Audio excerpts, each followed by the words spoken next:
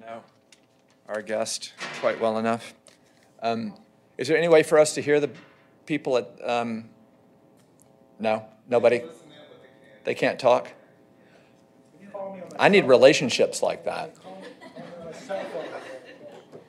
How can I get one? Anybody help me with that? Okay, it is a great pleasure for me to introduce Bill Lytton. Um, This is going to take a little bit. I'm not going to do the Michael Friedlander introduction because I cannot, Michael Friedlander is um, famous, infamous, and notorious for his introductions. They're often summaries of people's work that the people didn't realize that they had done. They're really incredible. Because they hadn't done it, Well, I mean, they're incredible in their completeness, synoptic. yeah, and their synthesis, and it's like a, it's an avocation for him. Um, I think the faculty here, would you agree with that, Michael? Yeah, I would. I mean, they're amazing. I would, you know, if you need a, a, an upper, um, you should get Mike to introduce you for anything. If you need a downer, get me to get up here. Um, uh, Bill uh, went to Harvard um, as an undergraduate and studied chemistry and graduated magna cum laude and went to uh, Columbia Medical School. And then after that, ironically, um, went to um, UAB as an intern, I guess, as a, as a proper intern. Um, there's a story about why he went to UAB, and then he came back to, I guess, Columbia to finish up residency. He's a, neuro- he's a neurologist. He's really a neuroscientist uh, of an interesting sort. I met Bill as a, um, he had moved to the Salk Institute with Terry Sejnowski and Jenny Giles and uh, Shona Chatterjee from the biophysics department at Hopkins. Richard Adams. Richard Adams. We, we did meet when I visited Edelman, I'm trying to remember, I met Leif Finkel, I met, uh, Olaf Sporns, but maybe not. I was there. there. I was there. So uh, there are two ironies then. So I was a medical student at UAB when apparently you were a resident, but I was a medical student, you know, on my way out of the MSTP program and onto whatever it is I became. Um, I think Bill was there just to see how things worked on the edge of, uh, The edge of civilization. And they said, no, as close as you can go is Alabama. That's where Okay, so, uh, but, but the, the interesting part and the, and the place that we overlap is, um, is not just geographically, but uh, conceptually and in a new area that was um, nascent and emerging at the time. We were in a lab that was funded by the Howard Hughes Medical Institute. It was called the Computational Neurobiology Lab. It was at the Salk Institute, and I think you were probably the first fellow of that It was Sidney group. Lehky, but he never came out of the closet, literally, not figuratively. S- Sidney Lehky. And then uh, Pat Stanton that was the third. Oh, so I know the whole crew. So Sidney Lehky was a, an early innovator in using neural networks to work on perceptual problems. His uh, famous work was in shape from shading and whatnot. And back in those days, neural networks, unlike today, where there's a fever because they can do everything from recognize pictures to drive cars, um, they kind of couldn't do anything. Okay, so the idea that there were a whole bunch of people, physicists and mathematicians and quantitative neuroscientists working on computational substrates of cognition and perception in a group was really an outlier. And it's, it's, it's, it's never been clear to me exactly why the Howard Hughes invested in it, but they basically started computational neuroscience by investing in that. Between there and Caltech, was everyone um, went out and, and the, There was that enthusiasm post Hopfield, post Backprop, because I know this Francis Crick had these back and forth that Backprop is not really going to be the brain. Right. Backprop's not really going to be the brain. And now back propagation as a training algorithm is, um, you know, beating the game of Go, the world champions. Anyway, Bill's interest, which is different than the trajectories you'll see. Um, so this is going to take a little bit um, You can take up the whole hour. from others, and then then we have your your current claim to fame. Um, so stay tuned for that. Um, has been in the one of the problems that plagues understanding the nervous system, and it would be a problem if we didn't for computers if we didn't understand how computers work. So suppose you were given a computer and didn't know anything about how it worked, and we're trying to do everything from biochemistry and molecular physiology, let's say at the scale of transistors and PNP junctions and semiconductors, all the way up to the fact that computer programs uh, send you your check at the end of the month and control the temperature in this room. Okay? Suppose you didn't know exactly from which of the many, many levels between the transistors and the program that's controlling the temperature in here, the perceptual experience of being cool or the right temperature, the software was emerging. What would you do? Well, it's a multi-scale problem. There are many, many levels that contribute to it, but they contribute in different ways. And many, many of the levels, if you had a guess that there was a software layer in between the things that are keeping the ones and zeros straight and doing error checking on that, there's a software layer, and it does X, Y, and Z. And on top of this software layer is another software layer, and it can basically ignore the one beneath it as long as the one beneath it's implementing things right. Now imagine you take that system and you make it sick at different levels. You poison some of the PNP junctions in the semiconductors. You don't quite make the chips right. You don't make the control software exactly perfect on board the chip. Or maybe you write a, uh, a Python or an R program at the top level here, and it has an error in it, but it's a hard error to detect. Every now and then it's wrong and not all the time. Okay, that's a hard problem. That's the problem in the nervous system. The other problem in the nervous system is it's been evolving for a long, long time. And people like me, and I think people like Bill, much to his credit and what he's studied and the kind of the discipline course that he has followed through the years, is that there's a lot of tricks in the tissue. And we really haven't dug these things out yet. And modeling efforts are going to have to take this thing at multiple levels simultaneously. In many ways, that's what the Biocomplexity Institute at um, VT was directed at, multi-scale heterogeneous processes. We don't know how to think about them. There may be software exists within layers and across layers. Um, so it's a tricky problem. And in the modern world, we could say, well, we're going to throw the whole problem away now. We're going to throw neural networks in the sort of behavioral space, and that's going to explain everything. And I think that's wrong. I think, in fact, we're in an age where we can handle a lot of data, and we should go get a lot of data.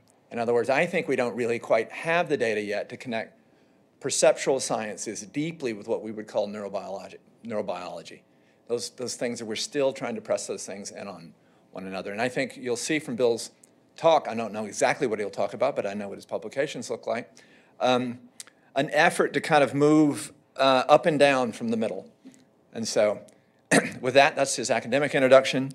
He also holds the record, um, and here, the only speaker that we've ever had that has, within the last 12 months, been attacked by a great white shark and survived to tell about it.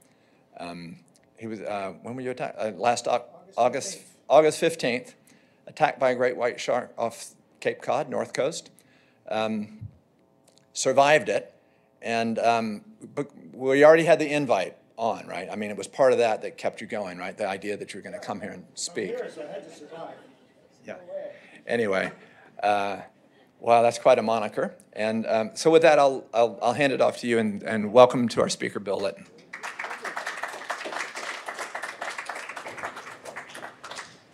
Yeah, so I'll just uh, mostly echo a lot. So it was good. That was synoptic. Uh, echo a lot of what we just heard here from Read. Um, I wanted to. I'm just trying to remember the thing somehow sticks in my mind because I was impressed by your humility, uh, oddly enough, which is not something you think of when you think of Read. But it's good for the, for, the, for the people who look for jobs because Read came to the uh, Sejnowski lab and was looking for a position. And uh, because it started raining, he and I raced to where we had to go for dinner. And I won. And it made me feel good. It made me feel like, hey, I'm faster than this guy who used to run track. And then something like, not only he run track, but he's like a, a athletic champion. He's decathlete. And the time, a couple times we tried to work out together, it was clear he let me win. And that's because he's humble and he knows if you want to get a job, make the other guy look good. So that was very good, good lesson for me because then I subsequently went on to try to get a job and I, I used that, I think. so uh, talk about the idea of looking at some of the details of neurons and not just, uh, question already. It's uh, time.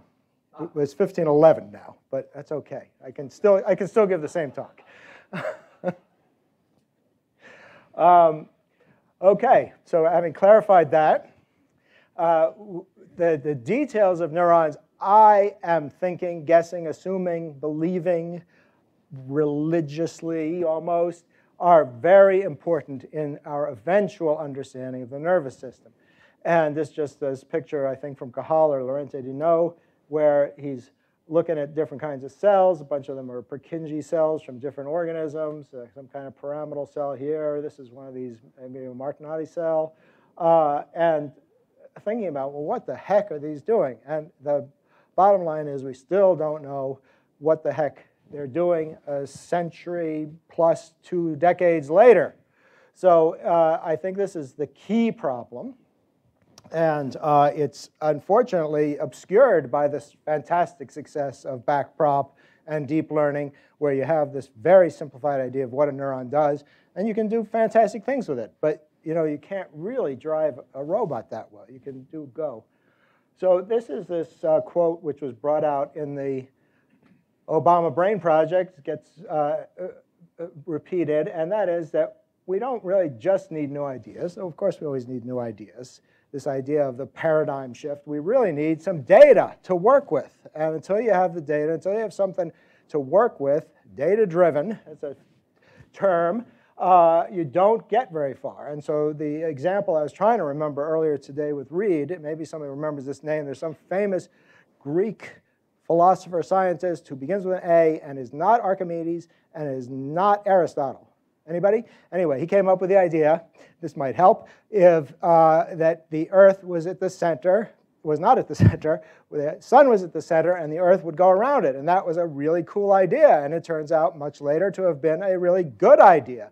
But nobody was going to believe that crap because there's no data. And so even when Copernicus comes around, nobody's going to believe that nonsense, except suddenly, coincidentally it seems, well, part of the Renaissance, there's data that says, hey, the stuff we've been doing, the way Ptolemy looked at things, is not working out. We've got these phases of the moons of Venus. I think that was a big deal. That's not right. The moons of somewhere.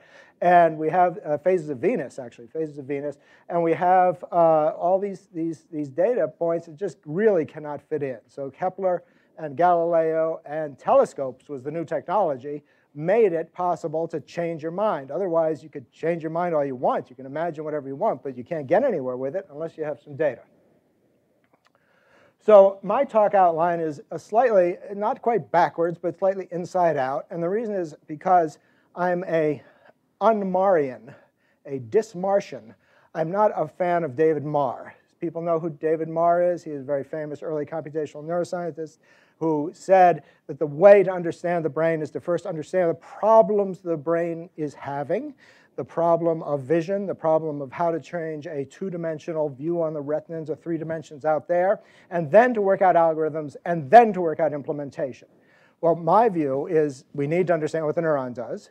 We need to work out the implementation, and that's part of what you were saying. And that having worked out the implementation, I then would like to take the then this is kind of middle out, then take the problems, many problems, that different parts of the brain have different problems, and think about now squeezing down, how can we develop, think about algorithms that would use these techniques, which are entirely different from the techniques you use with PNP, NPN transistors, to get something to work in uh, doing all the things the brain has to do. So I'm going to start out with implementation in terms of what we do implementation-wise, which is developing technology for simulation, uh, which I feel is also needed, not just technology for actually looking at things, but technology for how you're going to be able to understand those things through simulation and modeling. Uh, talk about a particular model that we've done uh, uh here of M1, primary motor cortex, and then come back and talk about the problem, which is kind of computational neuroscience as a field, as being somewhat lost and uh, wandering and about to drop into the big hole of deep learning for another decade. Um, and then talk again about dendrites and something specific here in terms of a model that we've developed. Uh, of course, I'm open to questions, comments, et cetera, as we go along. So if people don't know something like who Dave Marr is, in this case, I caught the like possibility you might not know, uh, please ask. Or if anybody comes up with the name of that Greek scientist. No, okay. I'm going to look it up later, then I'll have it. So we wrote this paper recently, NetPyNE, which is our program, really written by Salvador. Salvador Dura-Bernal did all the work here, and uh, with a big team of people who contributed a tool for data-driven multi-scale modeling for brain circuits. Uh, so it is multi-scale. We're trying to get all the way down to molecular levels to look at chains of molecular reactions, cascades, how different uh, calcium, how cyclic AMP, how G proteins affect ion channels, which affects electricity, which affects calcium entry, uh, calcium-induced calcium release, all this kind of thing down at the molecular level, up as far as the network when we're talking about network of maybe 10,000, maybe a million cells. Uh, from there, we would like to get up, and we need to think more about this because we don't have, we have some papers on it, but not anything great about how to get to the level of multiple areas, as you guys would be interested in for fMRI or magnetoencephalography. Uh, one of the tasks that we set ourselves and which we succeeded in doing is that it's nice to be able to prototype networks in a small way with what's called integrating fire cells. And again, this is a term of art. Do people know what an integrating fire cell is? It's getting pretty close to being what a deep learning type of cell is. So a deep learning unit or a backprop unit is a sum and squash unit. So you summate all the inputs into it, and then you squash it down to some, with some kind of a sigmoid function, so you end up with a value between 0 and 1 or a value between negative 1 and 1. And the integrating fire is kind of similar, except that it is a spiking unit, whereas the sum and squash is just a scalar value. The integrating fire sums up, that's the integrate part, and then generates spikes. And the number of spikes that are generated would be taken in the context of one of these backprop deep learning algorithms as meaning a rate which could be identified with the scalar that you would use in a deep learning application. Uh, this guy Izhikevich is very well known. He was uh, also with Edelman. You overlapped with him, or he was after you? So he uh, worked with Edelman for years, and he was on his. Uh, uh, well, then he was yeah moved with Edelman to San Diego, and now he runs the Brain Corporation, which originally was going to make spiking cells and and and um, see how they would work better than standard uh, standard sum and squash cells, but now really he's just working on robotics, I think, for Walmart. so he's become a Walmart worker, but he's a very brilliant guy anyway, despite that. Uh, one single compartment models, a single compartment means basically a Hodgkin-Huxley model. People have seen the Hodgkin-Huxley model for state variables, M, H, N, and voltage, and uh, that shows spiking behavior, uh, and that can be then elaborated into very many different ion channels. Multi-compartment model, meaning you have dendrites, which I think is very important, which is why we use a lot of multi-compartment models. However, to just start out, it's nice to be able to use one of these very simplified models so you can run something fast. You don't have to put it on a supercomputer. And then when you get it working, you can throw in the multi-compartment. So be able to just switch in and out the different types of cells is a feature of NetPyNE. Uh, we're working on a GUI with the people at uh, a company, Metacell in England, it's based on the Geppetto architecture. Uh, we have a lot of analysis tools that are uh, there and also an easy transition to putting it on a supercomputer.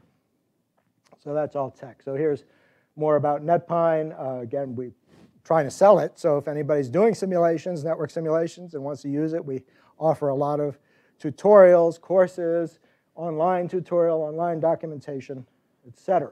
So the basic ideas are mostly here, kind of uh, that we have, it, it's based on Neuron. So Neuron is a simulation program out of Yale. Mike Hines is the developer of that.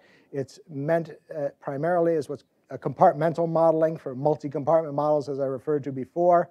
And what multi-compartment models are, they take the single compartment, which is Hodgkin-Huxley parallel conductance model, and they string those together with resistors. And so basically you have something that was a cell that you looked at in a microscope, and you then traced it. So you have this diagram of dendrites, and then the dendrites, each piece of dendrite becomes an RC circuit, a resistor capacitor circuit with rheostats. And the rheostats in the Hodgkin-Huxley formulation are voltage sensitive rheostats that change their conductance based on voltage. So we start with those models and also this NeuroML and also now Sonata, which is another type of, uh, uh, of database, which is coming out of Janelia and Human Brain Project. And we throw them into specifications that can be read by a person. They're declarative language, so you don't have to be writing detailed programs. You don't have to write the loops, essentially. Then we can create networks out of these, and we can throw them back and forth between serial and parallel, and again, change the cells in and out, run the simulation, uh, do the analysis, and output the analysis in a way that could be read into other simulators as well, such as NEST or uh, PyNN, Brian, Moose, uh, also output that can be read by MATLAB or Excel or other Python packages like pandas. Uh, so it's a declarative language. This is what it looks like.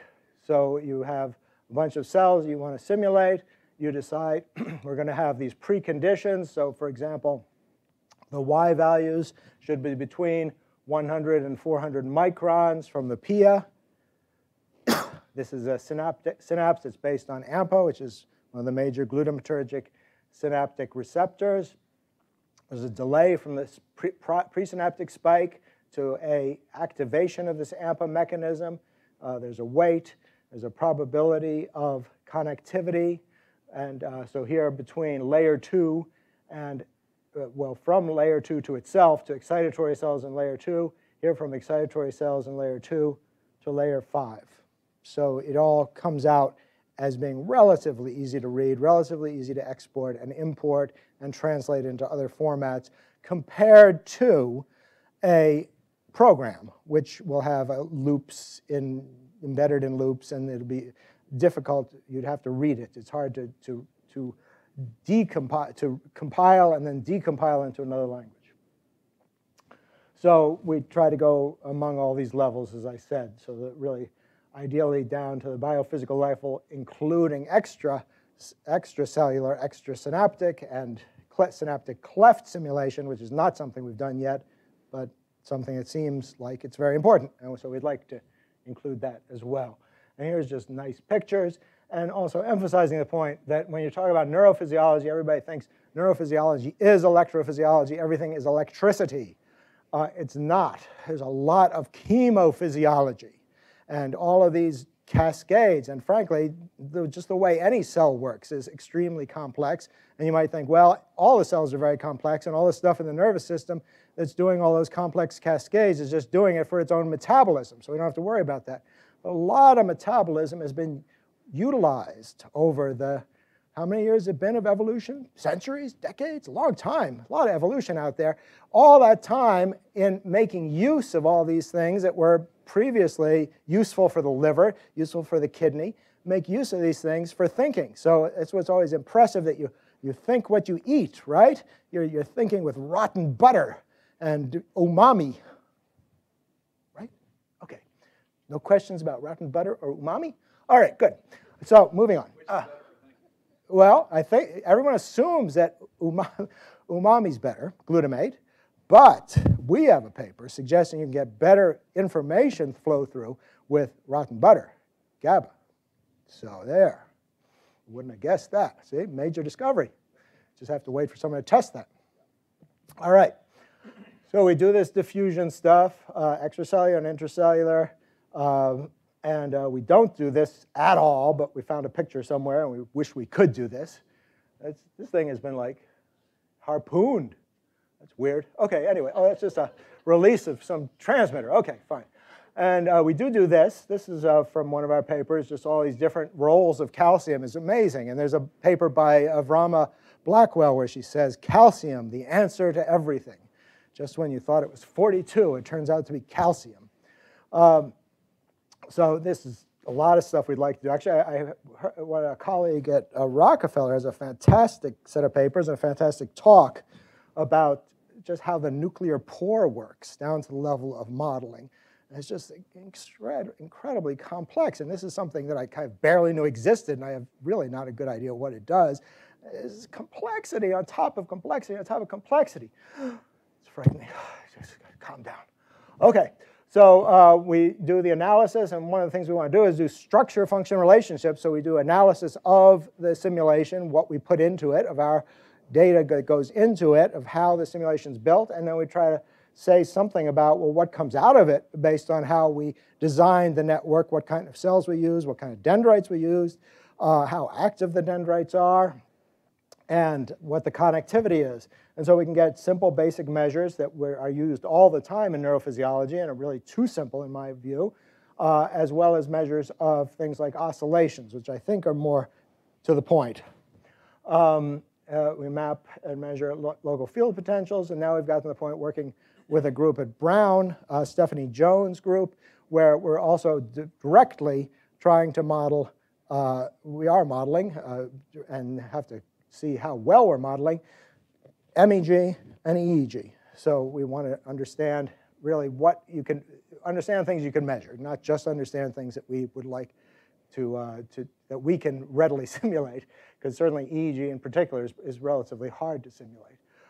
Uh, again, this GUI is being developed by Metacell. It's, it's really pretty. I'm myself not very much of a GUI person. I'm more a programmer type person, but I can certainly see the appeal of, of, of, of pretty pictures. Plus, it's easier to work with. Um, so uh, that, that's, I think, going to be very important to getting this ad adapted and used by people who, for example, might be doing MEG and EEG primarily and don't want to do any programming. So uh, GUI stuff, GUI stuff. So it's been done now for a variety of models, many of which are out in the literature. So we've taken those models. Sometimes they've been neuron models, so it hasn't required much translation, but sometimes, as in the case of uh, Potjans and Diesmann's famous model of cortex, we've had to take it from what was uh, simulation in NEST, which is this German program, which is kind of our main competitor, I'd say, out of Jülich, Germany, and we had to then port it, or, or some of our colleagues, I think our, uh, our Brazilian colleagues ported that. uh, we've done some models with learning, so with reinforcement learning, in particular looking at controlling a robot arm. And um, this uh, Stephanie Jones I mentioned, some, some simulation uh, for epilepsy as well. So we're trying to broaden, I mean, this, as you can tell, is a bit of a sales talk. We're trying to get more users, get people to use it. Uh, if you send us, you know, $500 each time you use it, that would be fine. Or if you don't, that's okay too, because it's NIH supported, so we don't, we don't charge anything for it. So LFPs can be generated, pretty pictures can be created. Uh, this picture I liked because it looked like folk dancing. The neurons folk dancing around the dentate gyrus. Can you see that? Can you see that, everybody? Okay, good. All right, that's key. So our main simulation that we've run with this program is our M1 microcircuit. The work, the actual work, was done by Gordon Shepherd at Northwestern. So this is Shepherd, son of Shepherd. The older Shepherd is at Yale. He wrote Synaptic Organization of the Brain, is a very famous, or he edited, it's a very famous book. This is the younger one who, uh, you know, is just a bit younger than me, uh, who, who said, of course, for years and decades, no, I will never do neuroscience. And of course, now he's a prominent neuroscientist doing almost exactly the same work as his dad did. So that just goes to show. Um, and uh, Salvador is the person in my lab who uh, really did all this stuff. And then Ben uh, in Gordon's lab was very instrumental. So what are we simulating? We're simulating a cylinder of tissue, nominally something like a microcolumn, although the notion of a microcolumn is not well, or even a column is not well defined anatomically. It's really a physiological notion that is lacking, unfortunately, anatomical confirmation, except for the case of the whisker baskets. Uh, we are only simulating about, well, only it took us a lot of work, so it's a, a lot for us. 10,000 neurons, we'd like to get this up by a factor of 10 or 100. 15 different neuropopulations, order 3 times 10 to the 7th synapses. So this is the kind of thing that Gordon and Ben measure uh, from mouse and then we can, uh, you know, they trace a lot of cells. We can put those cells together. And this is quite similar to what the uh, Human Brain Project is trying to do. Um, although I think our, our, our efforts are both more and less ambitious than theirs. Uh, we're more connected to the idea of better understanding the dynamics, better connecting the dynamics, the notions of information flow, whereas uh, they are much bigger. A billion euros will buy you a few computers. Uh, and that's what they got. Um, and there was a big controversy about it, and that'd be fun to discuss maybe over dinner or later because it's, it's a funny place. Um, and they're funny people. But they're, they're, they're, they're, European, they're Europeans. So what? Yes, well, yes and no. So the Human Brain Project was Henry Markram's baby. And Henry got in all kinds of trouble with Alex Pouget, Peter Dayan, uh, all the people we trained with, Tony, maybe, no, Tony Zador's in the US, uh, Zach Mainen. And uh, there was a public letter in Nature Uh, I, I, I always would rather talk about gossip than talk about science, so you'll have to stop me at some point. But so he got in all kinds of trouble, and he basically got kicked out of his own grant, uh, mostly because he seemed like he was trying to hoard everything to himself. so now, the latest paper to come out, which uh, I, I, mentioned to you earlier, came out with one of uh, Henry's lieutenants as the senior author, Felix Schürmann, and uh, Henry's not on it um, it says that the issue of how neurons work is just a throwaway sentence, but they, they seem to feel the issue of how neurons work is basically settled, so they don't have to worry about that. Landis Tex is on it. And so it's gone completely away from what Henry wanted. Meanwhile, Henry is still extremely well supported by the Blue Brain Project, which is IBM and Switzerland, which turns out to be a very wealthy country, and uh, Lausanne, the, the state of Lausanne. So he's very well funded, but he's kind of pulled his data and his work back away from the human brain. I, could go, I could go on. All right, so layering of inputs. This is, I find very interesting, the idea that different inputs come from other parts of the brain into different layers. You'll notice that this looks very different than what you may have seen or thought about previously in the context of learning about the visual cortex or even somatosensory cortex. Uh, in particular, we show here no layer four. In fact, Gordon Shepherd has now demonstrated there is a layer 4, but it's very thin. Um, and even layer 2, 3 is pretty small. Layer 1 is pretty small. Everything is layer 5. And these would be grossly considered the output layers. So grossly, sensory cortex, like visual, has very strong layer 2, 3, layer 4 input areas, input layers. And motor has very strong output. But really, they, they are somewhat homologous, and they do have the same, what, what was, has been called the canonical model of inputs through layer 4, here just showed as layer 5a, into layer 2, 3, layer 2, 3, into layer 5. So that's what's called the canonical model from Douglas and Martin in their analysis of the visual cortex. So we can just put details on this. We can say, okay, here, inputs from the thalamus uh, recorded using, uh, in this case, S-CRACM, which I can never remember what it stands for, so I wrote down here, subcellular channel rhodopsin assisted circuit mapping. Other connectivity worked out with laser scanning photostimulation. Uh, so th these are very sophisticated techniques, many developed by Karel Svoboda, uh, some developed by Gordon Shepherd himself, in terms of understanding where inputs come into, into the dendritic tree. And so uh, then we can lay it out on our model dendritic trees, and we can talk about the density of thalamic inputs into different locations, and we could then subsequently run simulations and talk about how the dynamics relates to how that layout shows up. Um, so this, again, this notion of the canonical model came from those guys, and uh, additional factors which seem to be important in the idea of generally bistratification, stuff above layer 4, or in the case of motor cortex, maybe including upper layer 5A, are somewhat different from the lower layers. And layer 6, which is uh, corticothalamic cells, remains a mystery. Layer 1 remains such a mystery that as of now, as of this model, we had no cells in it. We have now put some cells in it. And we're trying to try to understand better what's going on there, but it's, it's got to be important.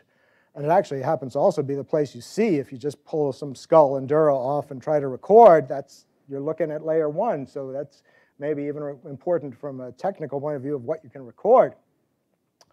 Uh, a funny feature which uh, Gordon Shepherd determined, uh, also a Japanese group determined this, is that the cortico, so-called corticostriatal cells, also called the intratelencephalic cells, project one-way circuit to the pyramidal type cells, also called corticospinal cells. So this is like the, we think, we imagine, the output circuit of brain. And this is true even for visual cortex. And you don't even think, well, visual cortex, of course, is not corticospinal. It doesn't project down to the spinal cord, as far as anyone knows.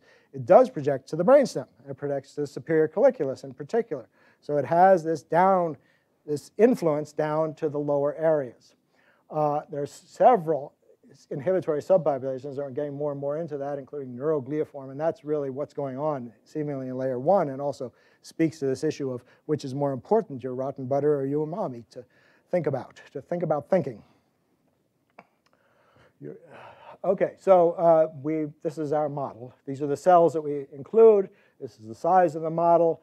These are the layers. One thing we emphasize, because Gordon Shepherd emphasizes it, is that we want to kind of get away from classical layer thinking and just talk about locations of cells because it's, you know, everything's kind of vague. Where's layer 5A stop and layer 5B begin?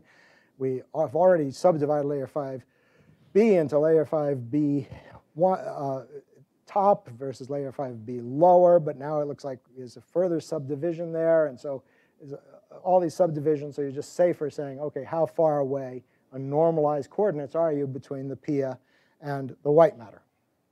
Some of the cells, which we are assuming are particularly important, particularly this PT cell, corticospinal cell, and this IT, intratelencephalic corticostriatal cell, are represented in full multi uh, glory, whereas other cells are given rather short shrift because we don't have good traces and because we can't run everything at full size uh, with the amount of computer power we have. And with some tweaking and some uh, machine learning, really, genetic algorithms, we can generate a reasonable looking raster plot. So a raster plot is every dot is a spike of a cell. The cells are represented here by layer and also by cell type. So these are inhibitory cells of layer 2, layer 2, 3 rather. Somatostatin cells, parval, sorry, these are not inhibitory. These are the excitatory cells of layer 2. Uh, intracephalic, somatostatin, parvalbumin. The layer 4 cells, I mentioned before that this is a motor cortex, but it does have a layer 4, uh, et cetera, down to the corticothalamic cells of layer 6. Uh, one sees an emergent oscillation, usually something in the gamma range. This is very typical for these high dimensional dynamical systems. It's kind of hard not to get an oscillation unless you just get latch up or you get zero. Uh, and that's emergent in the sense that the individual cells are not firing at that rate, but as a population, you see that kind of an oscillatory activity. So here's the emergent gamma in the faux LFP, the simulated LFP. We can pull it apart to show that there's a delta wave there, and there's also this uh, high beta, high gamma. One thing that we found in the simulation, uh, which is described, uh, so one thing that's well described is theta or delta modulated gamma amplitude. So the strength of the gamma, this is the frequency, 30 to 40 hertz is high beta, low gamma. This is time axis. The color is the strength. The strength kind of waxes and wanes with this delta.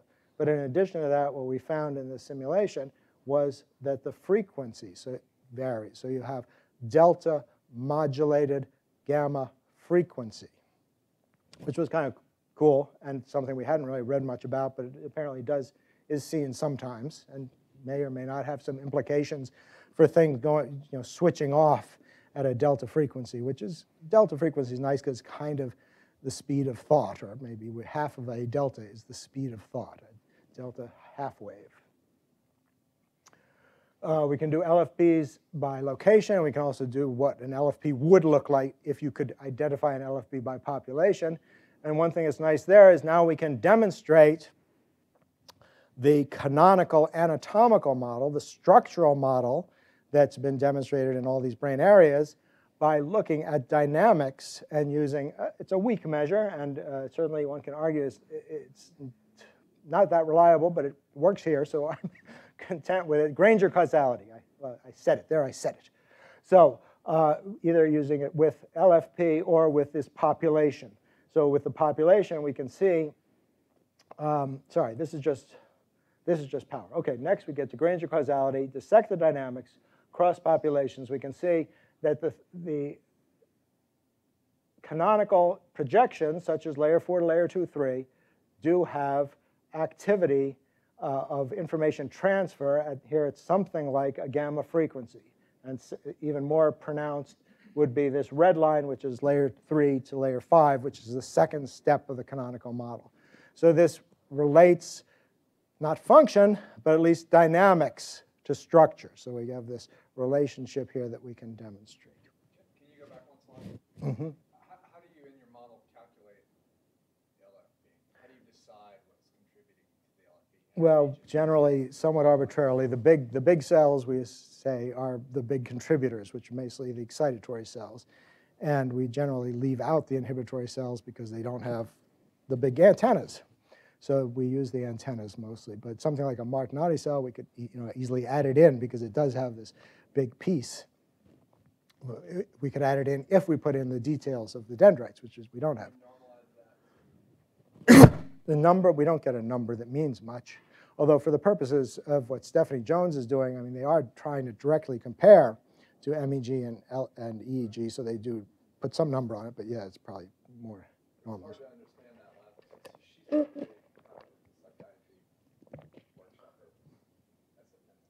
Okay. Uh-huh.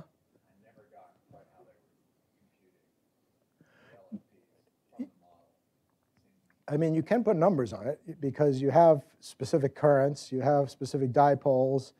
Uh, there's, we use a relatively simple algorithm, and I'd have to look at the details of that. The other one is LF pi by Gaute Einevoll. He has, a, a, a, I think, a more sophisticated algorithm, but he generally can only run it on one cell at a time, so he doesn't generate the whole population.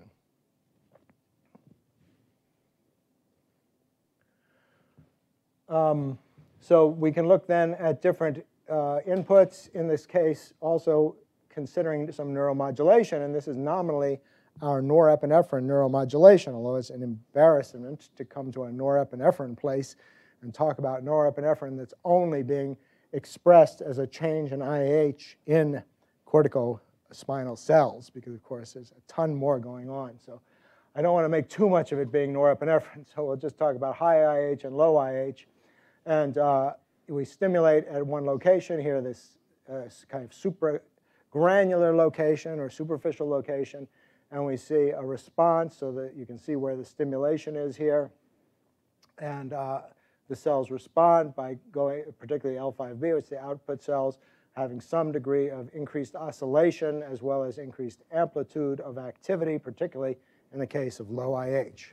So you have this interplay of neuromodulators here very grossly represented, and dynamics, different inputs, different locations of inputs, different locations of outputs being expressed, because of course the, uh, the layer 5A, IT5A cells also respond, and those are projecting contralaterally to corticostriatum, uh, to striatal, striatal areas as well as to uh, contralateral cortex. so here just showing a somewhat different pattern, really more robust pattern with the deep stimulation. Not too surprising, it's more robust because the stimulation here is in directly into layer 5B, so these layer 5B cells respond, particularly in the case of low IH, very strongly. One thing that surprised us, we measured our LFPs at intervals of 100 microns, and we found a very different response of upper layer 5B to to lower layer 5B. And so we were going to, in our paper, in fact, we have in our paper, made the prediction that there would be a difference in the cells of these two sublayers, sub-sublayers. They were already sublayered by calling it A and B. So uh, we, we had this nice prediction, which unfortunately the, this paper hasn't come out yet. In fact, I think it, may be submitted like this week. um, but uh, so not only does it come out, it hasn't even gone in. Uh, we made this prediction, I thought it was a great prediction, and then we got scooped by people who actually do work. So that's the problem with competing with people who actually do stuff. It's not fair. If we do nothing, we should get credit for that, right? This is a Svoboda paper in Nature fairly recently where he showed very convincingly these two cell types, upper layer 5B and lower layer 5B. So now what we had as a prediction suddenly became a post-diction, and that's less cool. What can you do? Nobody would have believed this anyway until Svoboda came and did something like this, but then it would have been cool. Post-diction wrong is really terrible. That's embarrassing. That's just because I can just because I didn't read the paper carefully enough, which has been known to happen. Okay, let's go. Move on. Um, all right, so now we're getting to philosophy or thinking about what we're, how are we're going to do this problem. So now we're getting to the problem level of David Marr. And there's just all these different ways of doing this stuff, and really the way you choose to do your computational neuroscience has more to do with how you were brought up than it does with the intellectual value of the work itself. Um, frankly, I was brought up, I mean, I, not like I didn't do math. I went to high school, sure. Uh, even, you know, did like honors math in college, but I can't do math the way he can do math, or much less Peter Dayan. So I'm not going to be attracted to doing these mathy sorts of solutions, and so I've come to the conclusion that they're not very worthwhile. Is that fair? Maybe not. Um, anyway, it's just these different views. So bottom up, most bottom up of these biophysicists, they want to do a single channel, they want to do the Markov model of the channel, and they really work it out. But where can you get with that? You're not going to get from very close to thought from a single, uh, you know, um, a, a patch clamp of an ion channel. Now here we get something a little more mathy, is these top-down low-dimensional guys, somebody like Krishna Shenoy, he's a, more an engineer than a mathematician, maybe somebody like Peter Dayan, um, and so just, you know, talk about a couple of scalars and how they interact and how they determine how we think. And I mean, they, they get great results. You can't complain. I mean, geez, Read gets great results. I'm just sucking up to you here, but yeah, you guys get great results. So that's cool, but uh, I don't think you can really get the context of where this is all coming from in the brain or how, for example, drugs would affect it when you get to a medical condition from just doing that. I'm, I'm quite clear you can't. Uh, even more severe, uh, and uh, something like analytic theory, where you're working on the lemmas of theories, and oh, geez, again, stuff stuff I don't understand. So uh, then we get all the deep learning guys, and they've like taking over because they do such cool stuff. But they're really doing a problem that, to my mind, is entirely different than the problem the brain is doing. They are doing raw perception of a Go board or uh, pictures of cats or chess they are just given this and then they, they, they work with it and they can just do raw perception. We never do raw perception.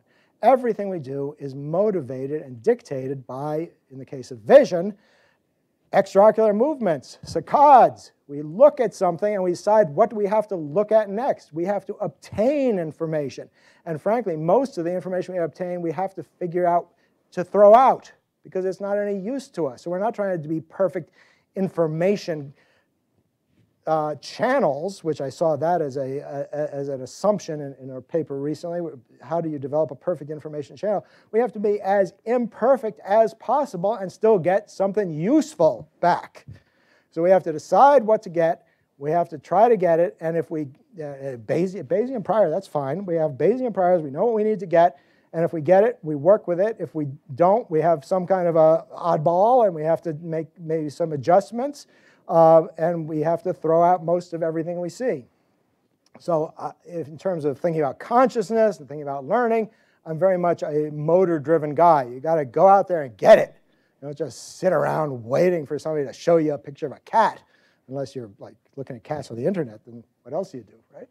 Um, and so we believe this is what uh, Read said earlier: middle-out, multi-scale modeling. We want to do something about the problem, think about the problems that the brain faces, and also think about all the pieces that have to do solutions to that problem. Uh, in particular, because I am a clinician, I think about things like epilepsy, and this is a, a really old notion, came from uh, William Lennox uh, in the 50s, 40s and 50s, the river of epilepsy, that epilepsy is not caused by, ever really, by one thing, it's always caused by a bunch of little things going wrong. And so if you're going to say, well, what's the, you know, where's the magic bullet? Where's the penicillin for epilepsy? By and large, you're not going to be able to find it, except in maybe a few rare single mutation cases. You really have to be treating the whole patient, and you also have to be treating the whole set of problems that cause it. Uh, here's this scale picture. Uh, space on the y-axis, time on the x-axis, logarithmic, logarithmic, from the tiny to the big, from the little, little time to the long, long time. And all of these systems are in something of a sequence, as one could do with any organ system. You could do this with the liver or the kidney. But I think what's kind of interesting about the brain, which is probably less true of the liver or the kidney, is this overlap. And so we talked about dendrites. I'm a big fan of dendrites. You got these big antennas, these big pickups running through multiple layers of network. So this is a subcellular scale. The dendrite's a subcellular piece. And it is interacting dynamically all the time with the network. And so you can't say, oh, we're just going to pull out the single cell and we're going to reduce it to its basic functionality. And having reduced it, we can now put it back in and say, okay, now how's the network work? Well, the network works, in my guess, by making use of the dynamics of these complex entities that are subcellular. So in particular, we try to have show this overlap here between dendrite layer, cell and column layer, and even maybe we should put the local circuit even down in there. We should have. All right, I'll do that next time I make this. That's a key point. So, so we do face a lot of objections to detailed modeling, so I thought I'd say a little about that. We are not, we are not, we're not Occamizable. Uh, we um, do not reduce things to the simplest model. Um, and it, you know, statistics does reduce things to a simple model. You can have a million points of data and reduce it to a regression coefficient. And so suddenly you've got the answer in a scalar to something that's very complex. And that's because the things that are, com the complexity is coming from having so much of that stuff, or like statistical mechanics. You reduce things to thermodynamics. You have so much of that stuff, but all those things are the same. Whereas in a 747, or in a brain, or even in a kidney or liver, there's so many different entities at so many different scales. And there are things like nuclear pores, which I don't even think about, that have all this clever engineering. And how does it all work? And Occam is not going to tell you how, not to mention the fact he's been dead for like a millennium. He's not going to tell you. And similarly, Popper, Popper, well, these models, these complex models are not falsifiable. Yes, your 747 will occasionally crash, or more likely a 737, but that doesn't mean you've falsified your model of flight. You have this complexity, and you've uh, actually gotten a lot of things out of your engineering and out of your understanding of this system that, that basically works. Um, and there are pieces that need to be fixed. So it's not like physics. It's not falsifiable. Uh, we are not doing curve fitting, although we do have uh, a curve fitting algorithm, but uh, a lot of our parameters are at least moderately well fixed. Certainly the capacitance of the cell membrane is pretty well fixed. Some of the conductances in the soma are well fixed.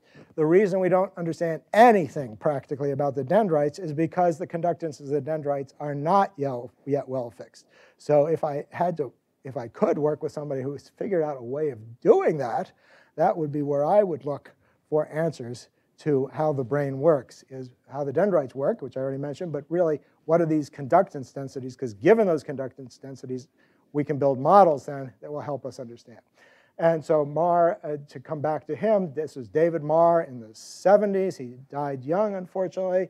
He wrote some very influential books. Uh, one entitled Vision really goes into this issue of what's the problem the brain has, how are the algorithms going to work, and then forget, the implementation is not important. You can do it in silicon, you can do it in carbon, you can do it in polonium, I don't know, anything.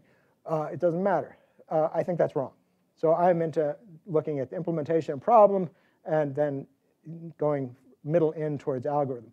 An example of the problem of vision, Marr says, okay, it's all about reducing this two-dimensional retinal image to three dimensions. Well, that's not what it's about at all. I mean, first of all, he ignores the motor aspect, which is that you're really going for things. I mentioned that earlier. The other thing that he would never have predicted, nobody would have predicted, is that you have a ventral pathway and a dorsal pathway. You have a what pathway and a where pathway. Well, that's no, no way to run a brain. Nobody, no engineer would design it that way except for God, and he's so good at stuff, you can't, you know, can't beat him. So uh, it's, it's, it's really remarkable that, well, this is the way we, the brain actually works. And this is a clue as to how you might want to engineer a system. But before this came up, nobody would engineer a system. We're going to make half the system work on motion, and the other half of the system work on shapes. And we're going to sometimes, as can be demonstrated by Treisman and others, have failures so that we think that something is moving is not actually what's moving. Wait, Oh, are you about to change? yeah. All right. All right. Just to springboard off the, uh, the picture of the 747 there, and what I see is uh,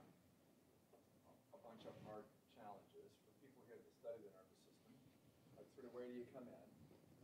So let me just say two things. First, let me start by defending Marcus a little bit by blurring him out. Okay. So, I mean, there are parts of thinking about the kinds of problems, like what and where are visual designations, right? Mm-hmm. Things have identities, identities get associated with different properties and features, and you're a creature, so you've got to move, move towards something, move away from something, all right? Right. So what and where is a, Oh, no, it's important, but you wouldn't have come up with those problems. Right. Okay. if you were designing a raccoon, if you were thinking, I'm going to design a raccoon, and the plane is a good example, so let's go there. Okay. So in the case of the plane, even, I just want you to take on the flexibility in the word detail. Mm-hmm. Okay, so you can build a plane out of a piece, a sheet of paper, Yeah. and it has a lot of the features of a plane. Maybe not very well controllable once you let go of it, but it'll fly Mm-hmm. because it solves a couple. of- Bernoulli. Yeah. Yeah, it solves, you know, fluid flow and lift problem, and the, the engine just doesn't happen to go with it, so it only flies for a little bit. Right. You wouldn't care at all that it was made out of a particular kind of paper. Right. Okay, how do you know that? Okay, so, so even if you were modeling this plane here, you'd use um, computational fluid dynamics, and but you wouldn't really go all the way down to the atoms and the, uh, whatever form the wing surface. or- Well, you would, you would, that you would, because the problem that they had when they developed even non-powered flight was to get the control surfaces right, and that was the Wright brothers' great contribution. Well, we're still doing that, actually, Yeah, with. with uh, 737. Underwater, seven, I mean, seven forty-seven got improved on, and Yeah. surfaces have gotten improved on. But as you improve it, if if it doesn't have enough lift, then it doesn't work as well. because it's- No, you need that basic stuff. And Or if yeah, control software, like the MAX eights, yeah, recent crash, is flawed relative to where you put the engine. And rel- well, and relative relative to what the pilots can accommodate right. fast enough. Yeah, It crashes despite the fact it's a magnificent yeah, yeah. So I'm just saying that it's hard to know when to stop. We don't have a grand principle saying, Right. hand, okay, you don't have to worry about this. Well, Here's the principle. that we I mean, physics is not done because we still have dark matter. We have no idea what it is.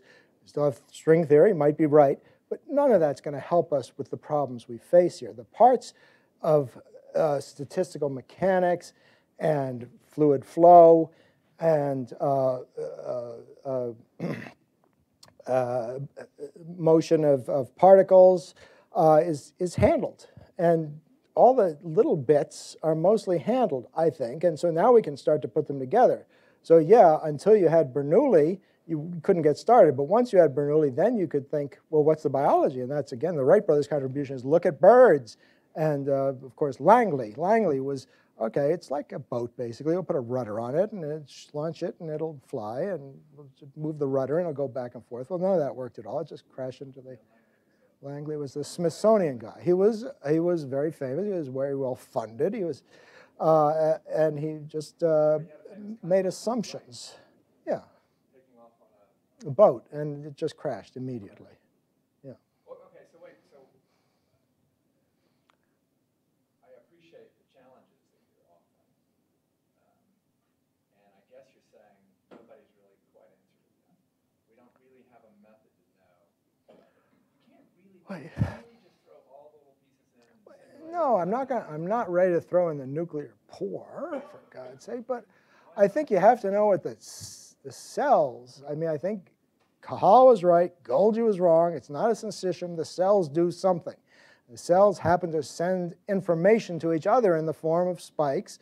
And this is part of, I think, the next slide maybe. The spike. What's the code? What's the neural code? Well, somehow these cells are designed in some way that they can identify the neural code. If I have to use, as I do, Shannon information theory to try to pull out pieces of code, I'm really way behind. Uh, Not behind only in real time, but just behind in terms of be, having enough computing power to get there. So uh, people are, are out. Maybe I should move it forward because I have like 50 more slides to show. You guys don't mind being here till midnight, right? Good. Okay. Uh, so information, information theory, most of what we do is going to be information for us as experimentalists and not information that the animal is necessarily using. I tend to think maybe the brain is not noisy. Another discussion, another set of arguments skip it. Moving on. Codes, many codes, they're all coexisting. The one that I like particularly is Simon Thorpe's first wave code. Pouget worked with Simon Thorpe before. And this is the idea that when you see that tiger or shark for that matter, you've got to respond pretty damn quickly. You got to like identify that and make your move before you are eaten, not after. Um, and so there's got to be this code there. You've got to do things in 100 milliseconds. That's the time you might have. Because the guy who's trying to kill you is doing things in 100 milliseconds. So you don't have much time. And then you have all these other codes because you're doing things after that. And you're also even doing things all the way up to thinking about playing Go and chess.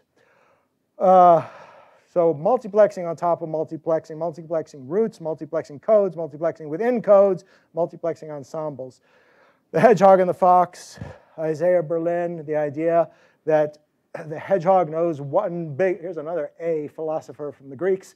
Uh, hedgehog knows one big thing, and you know that's not going to be true for the brain. The brain does not do one big thing or know one big thing. It has all these tricks and so many ways of doing things.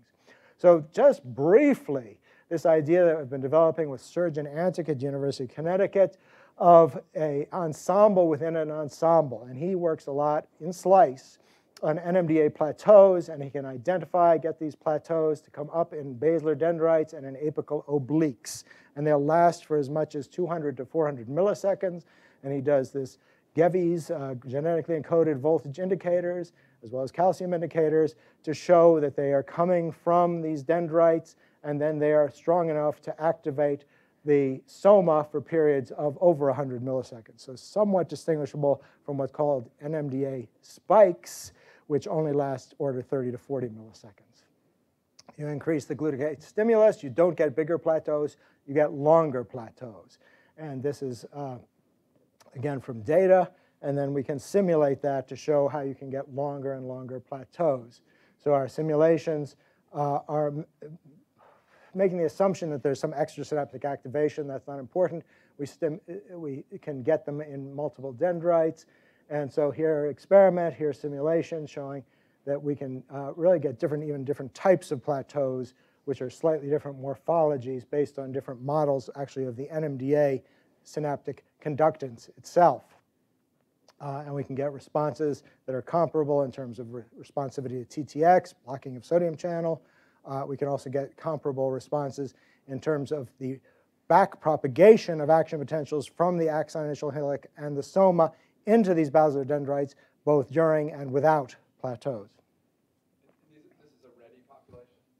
This is ready. And so let's get to our theory. We're ready to go. We're activated. And now, uh, again, a few more slides of uh, the, the phenomenology. Once you have this ready population, these guys can spike. So an EPSP, a compound EPSP that could not cause a spike without the plateau will now cause spikes in the setting of the plateau. And uh, we can take this and talk about now embedded ensembles. So our notion is the embedded ensemble encoding theory, that you have the ready population, which could be a Bayesian prior of an ensemble that might be activatable by stuff coming in from the sensory world in such a way as to give you a message of correspondence through synchrony of activated spikes. So that's the basic idea. You have the plateau, clustered inputs gives you the plateau, and then other inputs can give you the individual spike. So it's an ensemble of prepared cells, an ensemble of activated cells. You know, chance favors a prepared cell, and then the other inputs give you activation of a spike. Embedded ensembles, that's the theme. It's gumball, it's all gumball, and this is still very weak network simulations. So here, this local input gives the plateau, and then on top of the plateau, you have activated action potentials that can be synchronous and then could be read out in the context of something like a Lisman model of gamma on theta or just a pure synchrony model without any underlying oscillation being necessary, except for the oscillation of the plateau itself, which is order, uh, potentially order half of a uh, delta. So my key thing is where do we get the decoder ring? We used to be able to get it from Cracker Jacks, but Cracker Jacks no longer gives prizes. Did you know that? I haven't bought in so long. They don't give prizes. So you have to go to Amazon and get decoder rings made of silver for like $200. And I used to get it for free. So this is why I've made so little progress, because damn decoder rings are so expensive. So it's work's actually done by people, uh, and in particular, Salvador has done a lot of this work. Uh, Sam Neymotin did this work, but I think his kid got sick, so he missed this dinner. Uh, who else did a lot of the work? Mateo here is doing that GUI I talked about. There's actually another table of people. We, we're a, a, a computational lab, so we actually never see each other because we're all computer geeks and we can't bear face-to-face interaction. So we only communicate through Slack, and we have a dinner once a year because if there's food, they'll come. They still won't talk, but they'll come. And so that, that's why there's this picture. And so uh, who else was important here? Sam Neymotin was very important, I mentioned. Uh, Mohammed, important. They're all important. Everybody's important. A, everybody gets a participation trophy. Okay, so uh, questions? Or, yes, thank you. Yes. The plateau will go off uh, after a certain amount of time. Either you can, you can throw input, uh, inhibitory input into it, and that will turn it off, or the NMDA uh, activation duration. And so we are hypothesizing two different kinds of NMDA based on these two different types of, uh, uh, of morphologies of the plateaus, and they have different Markov model properties. One comes is a very simple one from Alain Destexhe, in fact. The other one's a much more complicated one from Guy Major. And so we really tried all kinds of things to get the two morphologies, and it came down to this difference. It, that's our prediction, that these are different isof isoforms of, of the plateau, but mostly inactivation. In the slice, those are slice experiments? All slice. There's evidence from in vivo. They, they turned off spontaneously and right. Well, the other thing is uptake of glutamate. So as long as you have glutamate occupancy, you have less inactivation than once the glutamate goes away. So one hypothesis of Srdjan, Srdjan Antic's, is that you have, uh, you're overwhelming the capacity of the astrocytes to take up glutamate. What sort of, who, who would do that? What, what source of? Well, if, if, if he does it with an electrode that's just administering a shootload of, of but uh, the idea is if you have the clustering, and there's some anatomical evidence of this clustering, and you had this set of presynaptic cells going off at the same time because they are encoding something, then this cell is going to be activated. And so one ensemble comes, comes up, gets ready, either gets picked and spikes or doesn't. so, you know, it, it can be shifting, but these are all, presumably the cells are playing all the roles so that a set of cells is projecting as a input to get spiking in a set of prepared cells, but at the same time can be projecting to another set of cells to prepare those cells ahead of time. So you can imagine a little cycle of, of that with. a lot of energy, The nervous system is really very. Well, I mean, given some energy, right, yes. strategy of heating up.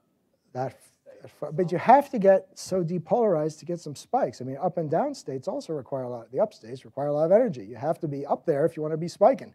And that's another point I like to make, and I will make now, that uh, you know people talk about oscillations being epiphenomenal. Well, they are epiphenomenal. It's just an indication that we can read out, and yet, despite being epiphenomenal, there's something going on there. We think at that frequency. Well, I would argue that rate coding is also epiphenomenal. You have rate, the cells are spiking. Okay, of course, we know there's some information being conveyed when the cells are spiking. There's no information being conveyed when the cells are not spiking. So they're spiking. That is already, I would call it, an envelope. And in there, you have any number of possibilities for how you're making use of those spikes.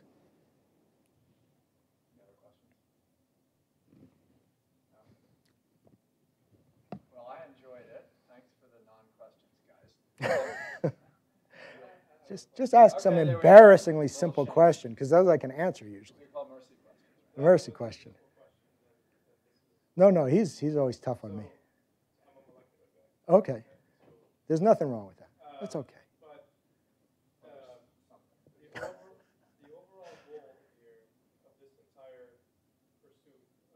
Is to get funding. Oh, no, sorry. Go on. What were you saying?